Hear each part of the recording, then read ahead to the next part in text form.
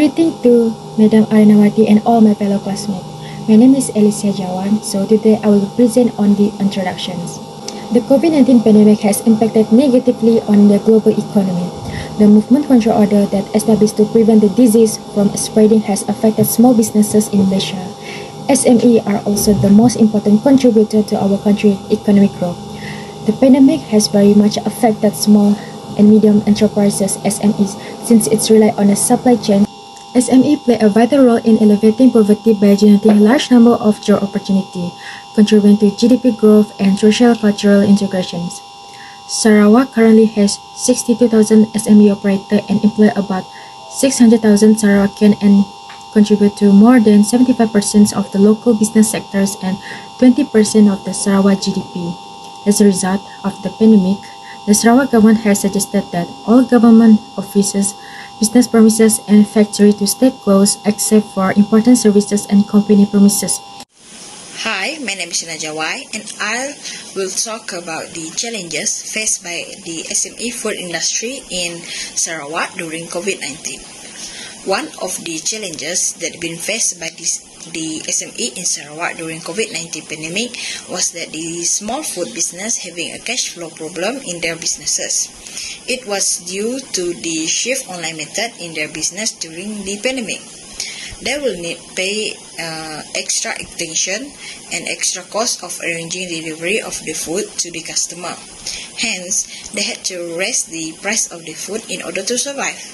According to the one of the correspondent, shifting their business to the online method did not bring much profit to their business, and many of the other entrepreneurs hoping a solution from the government to help them survive during the pandemic. Besides that, the price of the raw material for the food industry, such as uh, chicken meat, has increasing.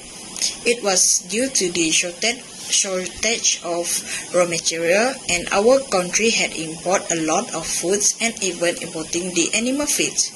According to the Chong Chien Cheng, the DAP Panungan, the total price of the food imported by Malaysia in 2020 was around 55 billion, 55 billion ringgit and the food imported value of Sarawak was around 4 billion ringgit to 5 billion ringgit. This has made the operating cost for the business had increased, in which led to the increasing of selling price of the food.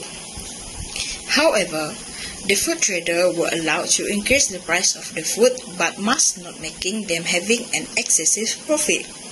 The food trader must do the business ethically and must make sure that the customer must not be deceived during the COVID.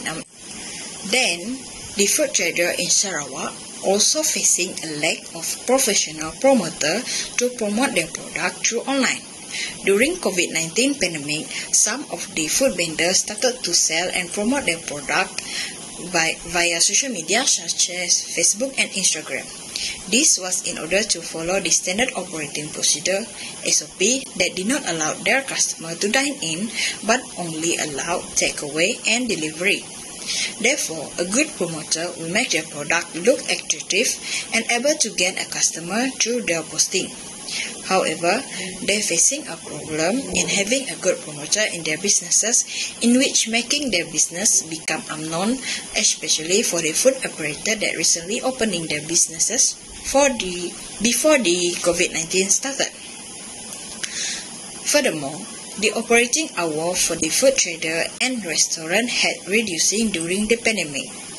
This is because the standard operating procedure during Conditional Movement Control Order uh, CMCO had only allowed them to open their business but only on the time allocated by the government. For example, on 24 April 2020, Sarawak government making a decision to allow food trader to operate between 3 p.m. until 10 p.m. This has make this has given a great impact to the food trader in Sarawak as they only can open their business in the short period of time in one day. The profit for them also will be will be decreasing compared to the profit they gained before the COVID-19 pandemic. Lastly, the food traders as the restaurant had lack of human, res human resources during their operating hours. A big restaurant usually need a lot of waiters and cookers in order to serve their customer. This was happening when Sarawak Disaster Management Committee SDMC decided to allow dine-in at the eatery started 15 July 2021. However, they need to follow the guideline and standard operating procedure SOP that has been stated. Based on the standard operating procedure, they only allow a restaurant operator to open their business if they had received the COVID-19 vaccine and also for the workers, they will able to come to work if they had vaccinated or at least receiving a first dose of COVID-19 vaccine. Thank you. Hello, I'm Elsie. Now I will present on implication. Firstly, SME performance in Sarawak during COVID-19. The pandemic of COVID-19 made the SME businesses in Sarawak suffer, especially during the Movement Control Order MCO. They need to shut down. SME shares in the food industry is one of the most affected. SME play a crucial role in Sarawak. Approximately 62,000 SME operators and around 43,000 registered over 10 years ago.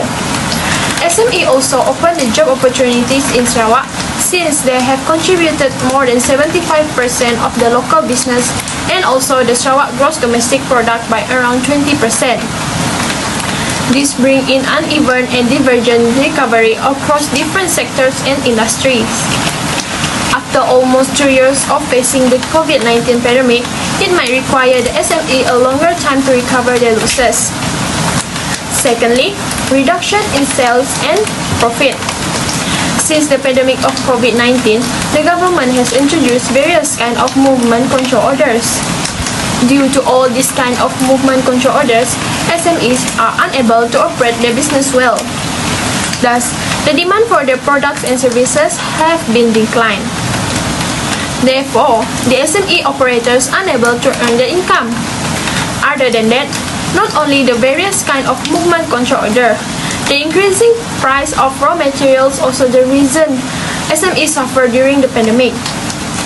During the pandemic, the prices of raw materials increased, making the SMEs facing problem to proceed the business. Thirdly, unemployment rate increased. SME in Sarawak provide approximately 600,000 jobs for Sarawakians. Unfortunately, because of the pandemic, SME in Sarawak are unable to operate well which makes them get less income. According to Deputy Minister in Sarawak Premier Department, Dato' Garawat Gala, the COVID-19 pandemic has affected 4,037 people in Sarawak had lost their job. Hi, I am Manisha. Now I will present the suggestion and recommendation to overcome the issue that has addressed by Rena. First of all, the recommendation to solve the issue of the rising price of raw material is improve bantuan khas Sarawakku Sayang 810. This initiative was announced by Dato' Petinggi Tan Sri Abang Johari Abang Openg. This initiative is assistance for small trader, which is the one of cash assistance grant RM 1000.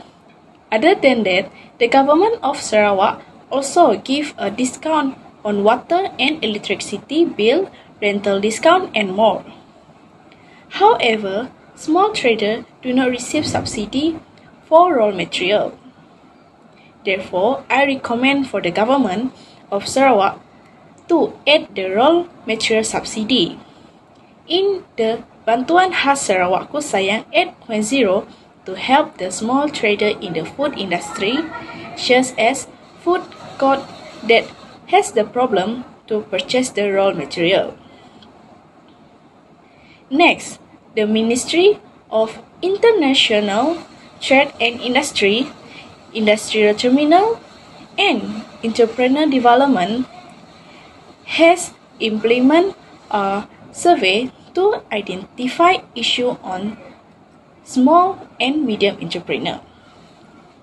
During the COVID-19 pandemic, with this method, MINTRED can come up with an action plan to help small and medium enterprise. Small and medium entrepreneurs were calling up to fill in a survey through the website or scan the QR code that was provided by the Ministry of Industry Development. This survey can be filled up by the different sector of industry, including the food industry. In conclusion, the COVID-19 pandemic has a large impact on the economic of the Malaysia, especially on the small and medium-sized enterprise sector. Hence, the work assess- in this work assessment, the investigators shows an impact of COVID-19 pandemics toward the SME in Sarawak shows a very good example how pandemic can cause a negative impact on the economic and social activity. Therefore, COVID-19 pandemic in Sarawak has caused the SME cash flow to be have facing problems, increasing in the raw material and also re- reducing operating hours. Hence, this issue has resulted in the sales and profit revenue drop, unemployment rate increase, and also SME low performance. Therefore, an issue requires a solution to resolve the problem. It is the duty for every citizens and government in Malaysia to find a creative idea on how to overcome and combating this COVID-19 pandemic in the SME sector. This collaboration is important for both citizens and the government as they should play their roles in finding the ways and solution to enable the affected business of the SME to operate normal with the existence of the virus. Hence, it will slowly recover on the Malaysian economic sector, especially on the endemic stages. Plus, every actions in contributed in the boost of the SME business will contribute for the betterment of the future SME owner to operate the business normally and also to be prepared and to face any of the economics problems together.